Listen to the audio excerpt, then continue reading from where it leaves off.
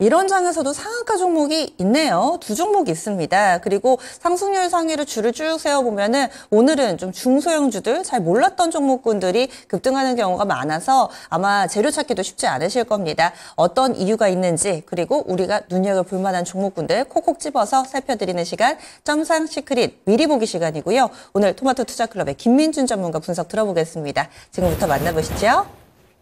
네, 저는 미증시 CPI가 기대치만큼 나오지 않았습니다. 상당히 빅테크 기업들, 성장주들이 부침이 있습니다만 그 안에서도 시세 반등은 여전히 이어지고 있습니다. 첫 번째 종목 좀 보셔야 될 것 같은데 on-device AI의 시대는 역시나 끝나지 않은 것 같습니다. 제주 반도체의 모습입니다.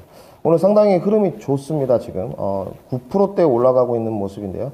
32,600원의 시세를 달려가고 있습니다. 눌림목이 25,000원 아래까지 빠지는 모습이었는데 on-device AI에 대한 시장 개화의 시대였고 작년에 올해 2024년은 확장의 시대인 건 틀림없는 것 같습니다. 문제는 상당히 제주 반도체가 이제 과열권인 모습은 분명히 인정을 해야 될 것 같은데 후속주를 찾기가 쉽지가 않습니다. 저전력 반도체가 좀 어, 대세가 되면서 뭐 리노공업까지 전이되는 모습이 좀 있었습니다만은 오늘 흐름은 제주 반도체만 좀 이어가는 모습 속에서 상당히 어, 추이가 좀 주목되고 있습니다. 제주 반도체 시세가 지금 32,950원을 달려가고 있는데 10%대 상승입니다. 가장 중요한 것은 이제 거래량이 동반되면서 고점 갱신을 할 수 있느냐.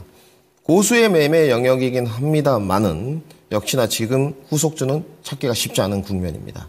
trading 관점에서는 접근이 유효하다 정리해 드리고요. 가장 중요한 부분은 이제 후속주가 언제쯤 튀어나오느냐 아, 시장에 주목해 볼 만한 키포인트다 정리해 드리겠습니다. 자, 두 번째로 저 PBR 종목주 흥국화재 한번 보시겠습니다. 음, 지난 시간에도 좀 다뤄드렸는데 갭 상승분이 메꿔지는지가 가장 중요하다. 음, 흥국화재가 지금 손보사들 종목에선 좀 도드라진 반등입니다. 자, 차트 모습 한번 보시죠. 가장 중요했던 포인트가 한 명절 전에 갭 상승 분이었었는데 뭐 상한가도 직행도 가고 5천 원을 갭으로 띄웠어요. 지금 저 PBR 종목들을 보시게 되면 기료가 지주사, 아, 그리고 손보사, 은행주, 그리고 자동차 이렇게 좀 삼파전 양상으로 갈리고 있는데 외국인들은 자동차 주들을 좀 선호하는 것 같고 기관 투자자들은 손보사 은행 지주사로 조금 전이되는 모습인 것 같습니다. 오늘 양봉 윗꼬리가 지금 달리고 있는데 가장 중요한 포인트는 개입을 하락으로 메꾸는지 그리고 종가 마감이 양봉으로 지속되는지 오늘 거래량이 동반되었기 때문에 이 두 가지 포인트만 명심하시면 될 것 같습니다. 단지 우리가 충분한 조정 후에 이 시세가 저는 총선까지 이어진다고 보기 때문에 조정 후에 진입하는 것이 포인트다까지 정리하겠습니다. 자, 로봇줄 한번 넘어가 보겠습니다. 이렌시스 한번 보겠습니다. 뭐 레인보우 로보틱스가 삼성품이 안길지 안 안길지는 모르겠습니다만은 지금 안기는 모습이고 삼성전자 보핏에 관련된 로봇 관련주들이 시세를 분출하고 있습니다. 오늘 장중에 지금 7,530원 21%대 상승이기 때문에 박스권 돌파 모습이 좀 나타나는 모습이고요. 전일 가장 중요한 게 이제 6,240원 종가 마감이 됐는데 오늘도 중요한 포인트는 갭으로 뛰었습니다. 그렇기 때문에 6,500원 라인, 6,400원 라인이 갭으로 메꿔지게 된다면 시세 분출 후에 고점이 형성될 공산이 매우 크다. 기술적인 포인트가 좀 우위에 있는 종목인 것 같고요. 모멘텀은 아직 살아있다. 자, 레인보우로보틱스, 뭐 SBB테크, SPG, 우리 또 이랜시스까지 따라가는 매매하지 말고 아직 밑에 시세 분출 안 된 종목들까지 주목을 해보자까지 정리하겠습니다. 자, 2차전지 장비를 한번 넘어가 보겠습니다. 지금 2차 전지 안에서 저는 선별화가 되고 있다 이렇게 느껴지고 있는데 M 플러스입니다. 1년 만에 지금 매출액이 3배 증가했고요. 작년에 지금 영업이익이 340%가 증가했습니다.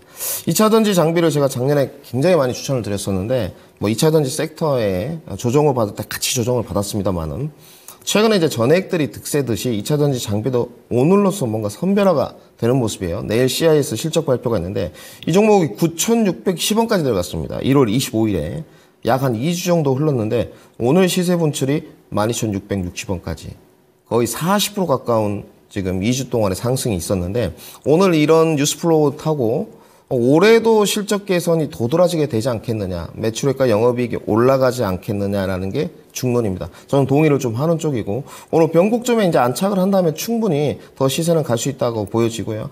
단지 좀 모아가는 관점, 음, 뭐 12,000원 이하에서 좀 눌렀을 때 모아가는 관점도 여전히 유효한 것 같습니다.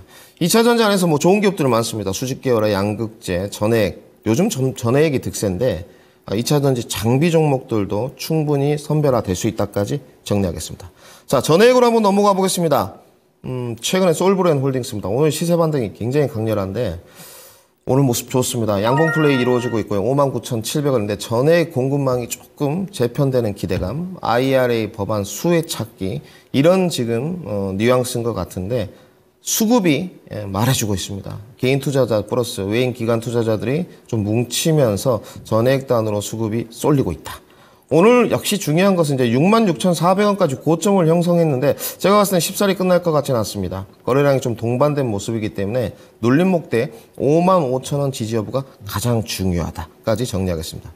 마지막 종목입니다. 요즘에 가장 핫한 시세 엔캠입니다. 지금 장중에 들어오면서 좀 윗꼬리가 달렸는데요. 전일도 상당히 좋은 흐름이었고 상한가로 직행해 버렸습니다. 오늘 30만 원을 목전에 두고 윗꼬리가 달리면서 좀 내려오고 있는데 5일선 키 맞추기라고 좀 보여지고 지난번에 제가 봤을 때 14만 원대 사실은 고점 형성하고 못 가지 않느냐 이렇게 형성했는데 개인 수급세가 좀 몰리고 어, 지금 10, 16만 원대 며칠 횡보를 하더니 갭으로 띄우고 나서 30만 원까지 도달한 모습입니다. 분명한 건 이제 과열인데 후발주자 찾기가 과연 무엇이 진행될지 오늘 동아기업이나 이런 솔브론 홀딩스도 괜찮거든요. 역시나 2차 전지 안에서는 시세가 가는 종목에 집중을 해봐야 된다.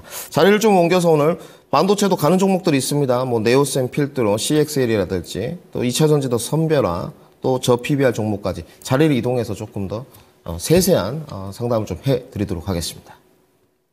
네, 이렇게 차별화된 주가 움직임을 나타내는 그런 살아있는 종목군들이 있습니다. 추가적으로 가격 전략 궁금하신 분들 유튜브에 토마토 증권통 점상 시크릿에서 뒷이야기 함께 하실 수가 있고요. 지금까지 다양한 투자 판단에 대한 도움 말씀드렸습니다. 종목의 상승 하락을 보장하지는 않습니다. 오늘은 좀 조심조심 신중한 투자 전략 세워보시고요. 전 여기서 인사드립니다. 함께 해주신 여러분 고맙습니다.